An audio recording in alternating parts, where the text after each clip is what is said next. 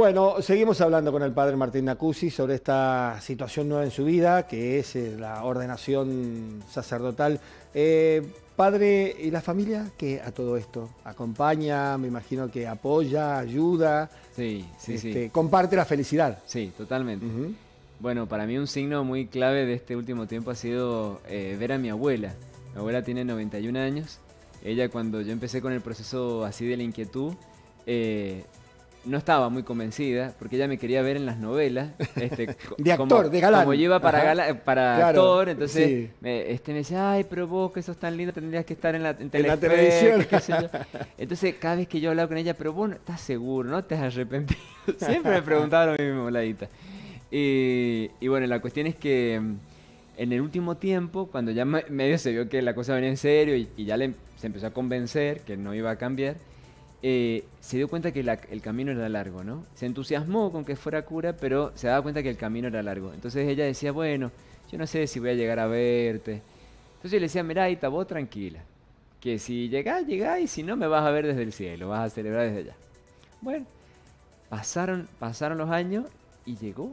Y en este último mes ha estado, pero eh, chocha. no, no, no, lo podía creer, emocionada. Con esta eh, emoción de decir, tener un nieto cura. Claro. Eh, y bueno, llegó el día de la ordenación y, todavía no he podido ver esa foto, pero hay una tía que, me dice que la, ha sacado justo, que es cuando ya como cura le voy a dar la, Eucaristía y ella está emocionada, así, ilusionada. Es como una cara que no cabía, en, la alegría no cabía en sí. Así que, bueno, es un ejemplo, ¿no? Eh, mi mamá también tenía otros otros proyectos, ella directora de teatro, yo iba por esa rama también del arte, entonces tenía como otras expectativas, pero como Dios le tocó el corazón con esa emoción, eh, ella también hizo su proceso de entregarme a Dios. Y esto es importante, Raúl, que, la respuesta no solo la da el candidato, en este caso eh, quien les habla, sino la familia. Pero la familia también es está, fundamental. está llamada a una respuesta. De, es fundamental, es fundamental. De entrega, de confianza, decir, bueno, en definitiva los hijos son de Dios. Lógico. ¿no? nos los presta, nos los da, son de la vida, pero son de Dios también. Claro, totalmente. Eh, mi papá, cuando uno les dice que iba a ser cura o ya soy cura, se emociona. Él, él tiene una sensibilidad muy, muy especial con, con esta realidad, entonces él, él, se pone muy feliz y, lo manifiesta en lágrimas. Y mis hermanos, que también son creyentes. ¿Cuántos eh, hermanos tiene? Dos más. Dos. ¿Son todos varones? Varones. Dos varones.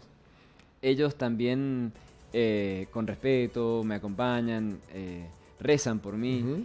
y, eso ¿Mayores que usted? Yo soy el del medio. Usted es el del medio. Y eso para mí es una, una bendición, porque no, no pasa así tan a buenas y a primeras en las familias que, que, es acogida la vocación. Y yo creo que en esto me ayudó mucho el, digamos, que el primo de mi mamá, eh, que es el padre Eduardo, fuera cura. Claro. Porque ya era una realidad conocida en la familia. Claro. Ya Se, más o menos se sabe qué hace un cura, cómo vive, cómo son las etapas. Claro. No era tan novedoso, ¿no? ¿Y por qué 11 años, padre? ¿La carrera no es 9 años? Eh, sí, 9, 8, pero bueno, en este último tiempo eh, la iglesia entendió que, que, hace falta más madurez en nosotros y, fueron proponiendo etapas que lo han ido alargando. Entonces, entre la filosofía y la teología, hoy discipulado y, configuración, hay un año más ahora, sin estudio. Es un año de pastoral. Bien. Los chicos se van a vivir a las parroquias y, allí tienen experiencia pastoral. Perfecto. Después vuelven a estudiar. Después de la teología o la configuración hay otro año más.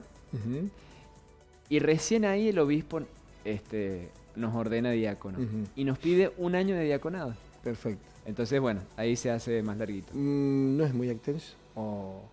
Yo considero, o sea, es extenso, sí, es extenso. Pero cuando hay vocación, eh, la verdad que no, no se sufre, o sea, porque uno está todo el tiempo aprendiendo, sirviendo, bueno.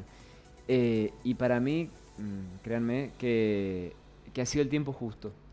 Yo siento que que la ordenación ha llegado en un tiempo donde por lo menos yo estoy eh, así como más tranquilo, gozoso, en paz, seguro de lo que Dios quiere y lo que yo quiero para, para este tiempo. O sea que un discipulado de 11 años. Sí. De 11 años. Bueno, eh, hay saludos para, para usted. Bueno, gracias. Bueno, vamos a escuchar los saludos. Grande Martincho, compartimos con vos la alegría, la emoción, la felicidad. bien lo sabes, hemos celebrado, estamos celebrando y vamos a seguir celebrando tu ordenación sacerdotal.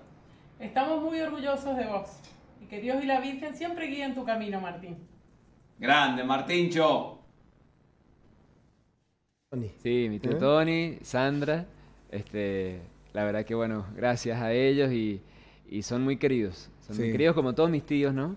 Eh, que bueno, yo recién hablaba de mi abuela, de, mi familia chica, ¿no? Pero mis tíos, mis primos, algunos quizás no tan practicantes, pero con este respeto, con esta... Totalmente, claro. Eh, con este abrazar la propia felicidad, claro. que es en definitiva lo que la familia busca, ¿no? Que uno sea feliz. Muy de la parroquia de San Francisco. Sí, ellos, sí. Ellos sí, sí. Bueno, eh, sigamos, a ver, ¿qué otros saludos hay? Hola, mi nombre es Consuelo, yo soy de Córdoba Capital. Conozco a Martín a través de una misión que yo fui allá a San Juan. Em, al padre Martín, perdón. Eh, bueno, el carisma de él es, para mí, es el teatro, es el arte. Em, a través de justamente el arte logró llegar a un montón de corazones y logró abrir los ojos del alma de muchas personas hacia Cristo, hacia la palabra de Dios. Así que bueno, nada, para mí el carisma de Martín es ese, es el arte. Le mando un saludo muy grande a todos y saludo. Padre Martín. Es Consuelo, una amiga como ahí se presentó de Córdoba, que quiero muchísimo y, también muy artista. Con su canta, ella hace doblajes de voces en dibujos animados. Una, genia, así que gracias. Bien, La verdad que Raúl debo admitir que no me esperaba esto, así que sorprendido y agradecido. Bueno, bueno, pero hay más. Bueno. Hay más. A ver. Hola, Gran Martín, mi ex amigo y ahora hermano. Eh, sé que tienes los dones del Espíritu Santo, así que rezo por ti para que en este mundo fuerte y agresivo cada vez más, a donde el hombre es el lobo del hombre, nos, eh, sepas, guiar y nos ayudes a, a ser cada vez mejores personas. Y te felicito por todo. Te mereces esto y sé que vas a tener un camino glorioso. Saludos. Qué lindo mensaje. ¿Quién es? Bueno, él es Raúl Valdés, le decimos Cuba, él es cubano, es eh, la pareja de mi tía, Que, que bueno, ahí me dice ex amigo porque em, hay una anécdota en el dique donde me fui a andar en, kayak y él estaba detrás mío esperando el kayak, yo no lo vi y me redemoré, cruzamos el Punta Negra, hicimos el Cerro La Sal, volvimos como dos horas, nos demoramos. Así que él casi se quedó sin, sin andar en el kayak y de ahí fui el ex amigo para él. Pero me ha, me ha reconciliado y dice que ahora soy su hermano. Está bien. Y le doy las gracias por, por ese mensaje muy fuerte, muy ah, lindo. Gracias, Cuba. Tenemos más. A ver. Bueno, Martín, gracias por por ser eh, una persona tan, tan dedicada a Dios. Creo que te mereces el lugar que vos tenés. Siempre fuiste una gran persona, un gran ser humano, siempre aconsejando, siempre eh, estando al lado de los que necesitan y siempre vas a estar en los corazones de todas las personas que te conocimos, que estuviste con nosotros. Ahora, con esto de ser eh, un sacerdote, creo que vas a, a estar más cerca a Dios para que nosotros podamos recibir eh, ese perdón que nosotros vamos a confesar. La verdad, te deseo mucho, mucho, eh, mucha fuerza. Te mando muchos saludos. Eres un ser extraordinario, una bella persona y muy dedicada a Dios. Bueno, él es Carlitos Rojas, un amigo, es actor de, de la academia de mi mamá. Hemos compartido de chiquito, con él y, la verdad que, bueno, sigo sorprendido y agradecido. Gracias Carlos por, esas palabras. Fuerte mensaje, ¿no? Fuerte. Eh, bueno, yo, a ver, eh, Raúl, eh, les agradezco a todos los que reconocen algo bueno en mí, pero sinceramente también interiormente no dejo de dar las gracias a Dios porque eh, en definitiva siempre la obra es de Dios. Seguro. Eh, lo que por ahí nos sale bien, digamos, o, o vamos conquistando como virtudes, es porque Dios nos está pechando con su gracia. Así que eh, doy gloria a Dios que, que, bueno, algo, algo bueno va haciendo. Bueno, tenemos otro mensaje. Este, bien, bueno, eh, padre, la última, ya para ir terminando la nota. eh, desafíos, seguramente, en esta, en esta etapa eh, que se viene de sacerdote. A ver, eh, el pueblo me parece que está necesitando respuestas, ¿no? respuestas, fundamentalmente de todos aquellos que forman este, el círculo de Cristo, de Dios. Como por ejemplo, eh, ¿qué análisis tiene usted del éxodo de fieles de la Iglesia Católica en los últimos tiempos? Por ejemplo. Sí, para mí eso, bueno, es un fenómeno actual, realmente un signo de los tiempos. Y yo creo que es un llamado de atención fuerte que Dios nos hace como Iglesia Católica a, a preguntarnos hacia adentro eh, qué hemos descuidado, ¿no? Porque fíjense, eh, esto lo comparto Raúl con mucha libertad, en la mayoría de los casos, eh, este éxodo, como bien lo, lo ha nombrado, eh, es más por una cuestión a veces afectiva al principio, ¿no? De, no sentirse contenidos afectivamente en la, en la parroquia, de llegar con un problema, una crisis y no encontrar al cura, o que nadie de ningún grupo eh, le ponga la mano en el hombro y le escuche a la persona y se desahogue, ¿no? Esa, esa falta de contención a veces ha hecho que, que busquen consuelo en, en otros hermanos, en este caso algunos evangélicos, y después entra lo doctrinal, ¿no?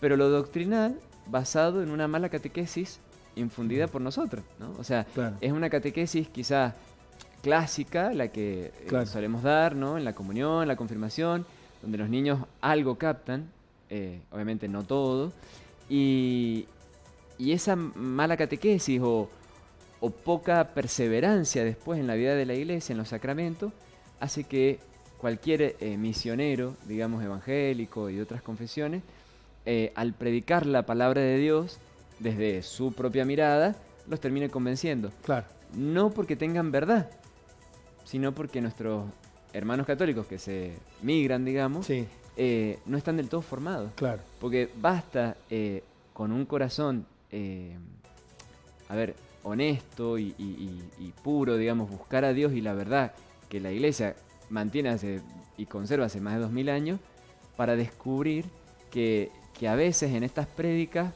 eh, hay engaño. Padre, hay muchas personas que atribuyen al, al sacerdote esa falta de autoridad para hablar de algunos temas. Por ejemplo, he escuchado mucho, y usted seguramente también, la frase de no me puede hablar de hijos si no es padre, o no me puede hablar de familia si no tiene una familia. ¿Qué se le dice a eso? Es verdad y- y a la vez no. ¿En qué sentido? Eh, hoy la iglesia nos pide que de alguna manera nos prediquemos de a, mm, pares y coetáneos, ¿no? O sea, el joven que le predique al joven, la familia que le predique y le misiona a la familia, el matrimonio al matrimonio. Entonces, en ese sentido, sí hay un, un reclamo lícito de que un matrimonio eh, le cuente cómo es la vida de la gracia a una pareja que todavía no está casada o, o la están peleando, ¿no? Pero qué gracia tiene el cura y por eso es una persona eh, autorizada para acompañar y aconsejar. Que es justamente esta gracia del pastoreo. Y el pastor no tiene que velar solo por una persona o familia, sino por el rebaño. Claro. Y en ese pastorear tenemos la gracia de ser testigos de, de muchas situaciones, sumado a nuestra formación de estos 11 años, Claro. que, que dentro de lo humano es también Claro. formación intelectual. ¿Se lo han dicho alguna vez a eso? Sí, ¿Sí? formación espiritual. Entonces, de alguna manera tenemos herramientas Claro. Para como para poder ayudar. porque eh, en esto no hay, que, no hay que dejarse engañar. Es como si uno le dijera al psicólogo o al psiquiatra, no, vos no me podés eh, aconsejar porque nunca has tenido ataque de pánico Claro. o nunca has tenido depresión. El psicólogo o el psiquiatra no necesitan tener ataque de pánico Para o depresión aconsejar, para claro. aconsejar a un paciente. Está bien. Necesitan haber estudiado y haber acompañado a muchas personas con la misma situación. ¿Me explico? Sí, sí, totalmente. La última, padre, y me parece que esto es un desafío para ustedes, el, el celibato. Sí. Sí. ¿Es un desafío para ustedes? Sí, no, a ver, eh, en esto es vocación. Y cuando hay vocación, Dios te da la gracia. Entonces, ¿es un desafío? Sí. porque uno tiene que cuidar la fidelidad. Como el matrimonio, el casado tiene que cuidar la fidelidad. Y no es más fácil eh, para el que se casa, porque el que se casa se casa con una sola mujer, o varón, ¿no? Eh, no con 100 y 200. Claro. Entonces, así como a ustedes se les pide el testimonio de, de la fidelidad, a nosotros igual. Bien. Y eso comporta hábitos, hábitos Bien. sanos. No mirar cosas que no debemos Claro. y no poner en el corazón deseos que no son lícitos. Claro. Claro. Y estar bien enfocado. Cuando uno está en lo Claro. que tiene que hacer y bien ubicado, eh, Dios da la gracia. Lo vocacional Exacto. puede. Es una pregunta, ¿no? Sí. Lo vocacional puede contra lo natural. No. Porque, no, porque lo- Dios porque llama. el sexo es natural. Sí, pero Dios llama de entre los célibes. Bien. Y, y el celibato eh, no es contra natura. ¿qué quiero decir, no? Eh, no por no tener sexo uno se enferma. Bien. Y, Bien. y hay personas que viven eh, célibemente sin ser cura o monja, Bien. Que viven en castidad, en, sí, en celibato y castidad. Claro. Entonces, eh, es un testimonio de que es posible y que el sexo como tal eh, no agota el mundo de la afectividad. Y uno puede ser totalmente afectivo, demostrar los afectos en un abrazo, un apretón de mano, en un mensaje, sin tener que llegar a la cama. Totalmente de acuerdo. Un gusto, padre. Igual, Raúl, Un placer, ¿eh? Dios lo bendiga. Bueno, y a todos. gracias. Muchas gracias por tenernos. Gracias. Bueno, con, con la palabra del Padre Martín nos estamos despidiendo. Nos volvemos a encontrar mañana a 7 de la tarde en Dinámica Informativa. Muchas gracias.